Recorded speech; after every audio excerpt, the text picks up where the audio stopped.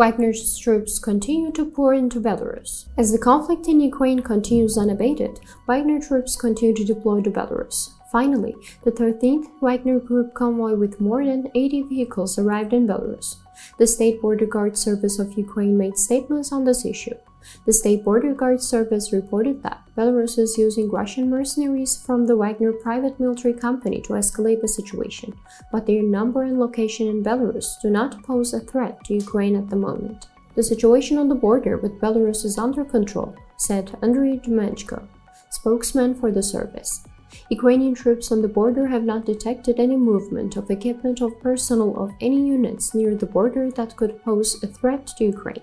However, the spokesperson said that the presence of Wagner troops in Belarus should be noted. There are currently more than 5,000 Wagner troops in Belarus and they are located at a considerable distance from Ukrainian border.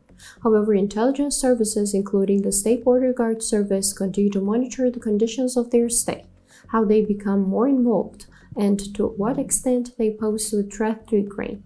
Now we see that they are further intensifying the situation, including with the European Union. This is one of the factors of influence that they continue to use, he said. To reach all the actual news fast and reliable worldwide, please don't forget to follow and like us.